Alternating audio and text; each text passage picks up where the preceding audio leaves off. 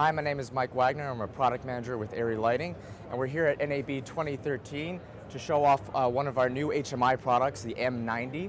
And the M90 is one of our M series products. We started out in 2006 with the ARRIMAX light, which is an 18 kilowatt light, and then we came out with our M18, our M40, and now a class in between the M40 and the ARRIMAX, which is a new power class, a 9,000 watt light, the M90. The M90 uses the same faceted reflector as the ARRIMAX, so you can have a truly lensless system where no longer do you have to carry around a big heavy box of PAR lenses. This is a focusable PAR lens.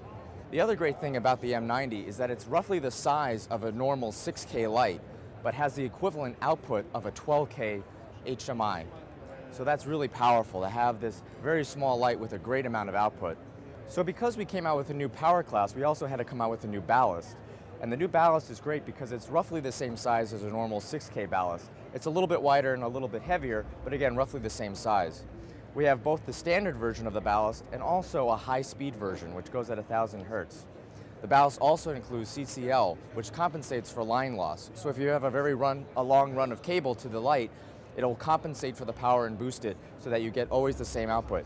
It actually talks to a microchip in the light to make sure that it's always receiving the right amount of power. It has a high-speed flicker-free mode and also DMX on board. As I had mentioned, you're able to really focus the light on the back.